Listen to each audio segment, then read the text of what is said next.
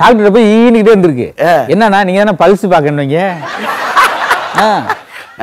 என் பொண்டாட்டி எங்க அம்மாவோட பயங்கர சண்டை போகி அன்னைக்கு. சரி பொங்கலுக்கு கோலம் போட போறான்னு நானும் போய் பார்க்குறேன். பொங்கலுக்கு கோலம் போட்டா எங்க அம்மா முஞ்ச அச்சு அசல் வரைஞ்சிருக்கான் எனக்கு பயங்கர பாராட்டு. ச்சே என்னதான் இருந்தாலும் இவ்வளவு பெருமையாக இருக்கேன்னு எங்கள் மனைவியை பிடிச்சி பாராட்டினேன். அதுக்கு அவர் சொல்கிறா என்னால் தான் ஒன்றும் செய்ய முடியல. உங்கள் அம்மாவை போகிற நாலு பேராவது மிதிச்சிட்டு போட்டுட்டாங்க. அன்றைக்கி பார்க்குறேன் நாய் அதில் உச்சா போயிருக்கு. என்ன அவ்வளோ கொடூரமான வாழ்க்கையில் நாங்கள் வாழ்த்துட்டு இருக்கோம்.